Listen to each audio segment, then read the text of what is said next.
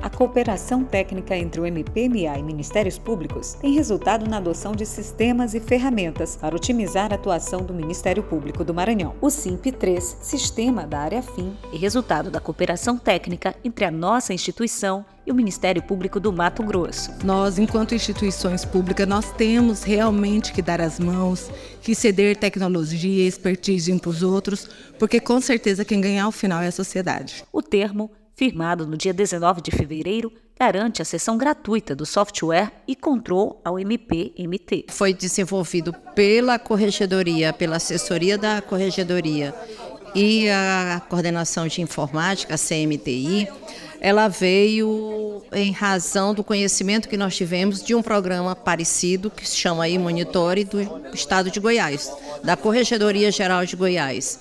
Então, que é um sistema que otimiza as correções, facilita o nosso trabalho, permite a inserção mais rápida de dados, permite a economia de recursos com grandes deslocamentos e torna mais célere a realização das correções. Outra inovação é o plenário virtual, uma ferramenta utilizada pelo Conselho Superior para otimizar a atuação ministerial. Quando a gente observou em julgamento aqui presencial um grande volume de processos, pouco tempo para analisá-los, então eu propus ao seu procurador-geral para que fizesse esse plenário virtual através de estudos, análises e graças ao CIP3 isso vai ser perfeitamente possível. A parceria entre as instituições garante inúmeros avanços. O ganho de tempo do promotor significa um trabalho mais qualificado para a sociedade. Então ganha a sociedade mato-grossense e ganha a sociedade maranhense com essas sessões recíprocas de sistemas de forma gratuita, ou seja, uma economia pro orçamento da sociedade.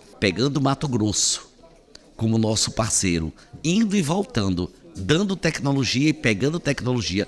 Isso não só Mato Grosso, em qualquer outro estado do Brasil, e de graça, principalmente isso, que nós não gastamos, não tiramos o dinheiro público do erário.